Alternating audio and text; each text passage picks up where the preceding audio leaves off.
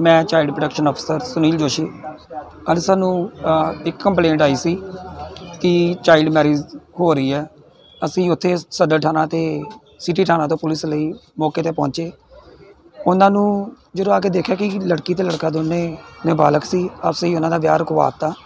ਬੱਚਿਆਂ ਨੂੰ, ਦੋਨਾਂ ਬੱਚਿਆਂ ਨੂੰ ਆਪਾਂ ਸੀਡਬਲਯੂਸੀ ਦੇ ਅੱਗੇ ਪ੍ਰੋਡਿਊਸ ਕੀਤਾ। ਸੀਡਬਲਯੂਸੀ ਨੇ ਆਰਡਰ ਜਨਰੇਟ ਕਰਕੇ ਉਹਨਾਂ ਨੂੰ ਆਪਣੇ ਆਪਣੇ ਘਰ ਵਾਪਸ ਭੇਜ ਸਰ ਲੜਕੀ ਦੀ ਉਮਰ ਕਿੰਨੀ ਦੱਸੀ ਜਾ ਰਹੀ ਹੈ ਤੇ ਲੜਕੇ ਦੀ ਕਿੰਨੀ ਦੱਸੀ ਜਾ ਰਹੀ ਲੜਕੇ ਦੀ ਜਿਹੜੀ ਲੜਕੀ ਉਹਦੀ 14 ਸਾਲ ਹੈ। ਲੜਕੇ ਦੀ ਉਮਰ ਦੀ ਕੰਪਲੀਟ ਨਹੀਂ ਸੀ ਆਈ ਪਰ ਲੜਕਾ ਵੀ ਮਾਈਨਰ ਲੱਗਦਾ ਹੈ। ਇਸ ਕਰਕੇ ਉਹਦਾ ਵੀ ਆਪਾਂ ਐਂਟੀ ਪ੍ਰੂਫ ਮੰਗਾ ਲਿਆ। ਹੈ ਸਰ ਕਿੱਥੋਂ ਦਾ ਸੰਬੰਧਤ ਹੈ ਇਹ? ਸਰ ਇੱਕ ਤੇ ਲੜਕਾ ਤੇ ਲਾਗੇ ਪਿੰਡ ਹੈ ਜੀ ਗੁਰਦਾਸਪੁਰ ਦੇ ਲਾਗੇ। ਤੇ ਲੜਕੀ ਲੋਕਲ ਹੀ ਹੈ ਜੀ ਗੁਰਦਾਸਪੁਰ ਦੀ। ਬੇਸਿਕਲੀ ਵੈਸੇ ਤੇ ਆ ਹੈਗੇ ਆ ਜੰਤੀਪੁਰ ਦੇ ਪਰ ਪ੍ਰੈਜ਼ੈਂਟ ਇਸ ਵਾਰ ਇੱਥੇ ਰਹਿ ਰਹੇ ਨੇ। ਤੁਹਾਡੇ ਤੁਹਾਡੇ ਵੱਲੋਂ ਕੀ ਕਾਰਵਾਈ ਕੀਤੀ ਜਾ ਰਹੀ ਹੈ? ਸਾਡੇ ਵੱਲੋਂ ਅਸੀਂ ਵਿਆਹ ਰਕਵਾਤਾ ਜੀ ਉਹਨਾਂ ਨੂੰ ਸਮਝਾਇਆ। ਤਾਂ ਉਹਨਾਂ ਨੇ, ਪਹਿਲਾਂ ਤਾਂ ਉਹਨਾਂ ਨੇ ਮੰਨਣ 'ਚ ਗੱਲ ਨਹੀਂ ਸੀ ਆ ਰਹੀ, ਬਾਅਦ 'ਚ ਉਹਨਾਂ ਨੇ ਇਸ ਗੱਲ ਨੂੰ ਐਕਸੈਪਟ ਕੀਤਾ, ਤਾਂ ਵਿਆਹ ਰਕਵਾ ਲਿਆ ਜੀ। ਤੁਹਾਡੀ ਆਪਣੀ ਭਰੋਸੇਮੰਦ academy E Planet IELTS and immigration Dasuya ਜਿੱਥੇ ਆਇਲਸ ਅਤੇ ਪੀਟੀ ਦੇ ਨਾਲ ਲਗਵਾ ਸਕਦੇ ਹੋ ਹਰ ਤਰ੍ਹਾਂ ਦੇ ਸਟੱਡੀ ਤੇ ਵਿਜ਼ਿਟਰ ਵੀਜ਼ਾ ਮਿਲੋ ਵੀਜ਼ਾ ਐਕਸਪਰਟ ਰਣਵੀਰ ਅਰੋੜਾ ਨਾਲ।